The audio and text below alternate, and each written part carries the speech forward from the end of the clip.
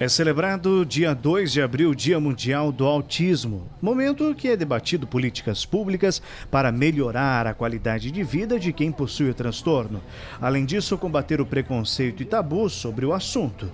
Em Pato Branco, munidos de cartazes e gritos de manifesto, um grupo em caminhada na área central da cidade marcou a data. As pessoas precisam pensar que é por ser autista, você tem todas as condições de ter uma vida, de, de conseguir eh, ter uma, uma sobrevida, de ser independente, através do, do, momento que você consegue ter um diagnóstico muito precoce, né? E nós temos muita luta pela frente, muita batalha pela frente, né? A gente pede que as pessoas tenham, tenham um olhar com um olhar de humanização e empatia para essas pessoas. De acordo com a presidente, são ações como essa que a visão e entendimento da população começa a ser melhor sobre o assunto.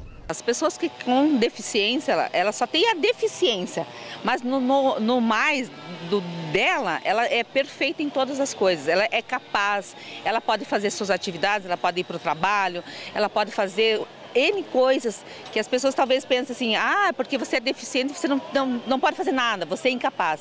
E são capazes sim. E a gente está lá na Associação Iguais nas Diferenças. Quem tiver alguma denúncia, quem quiser alguma informação, liga no 3040 0481, que a gente está lá atendendo. Também pode estar ligando na assistência social 32255544 para fazer alguma denúncia de algum preconceito, alguma coisa que está acontecendo na sua vida que você sinta que seu direito for cerceado, pode estar ligando que a gente está ajudando também.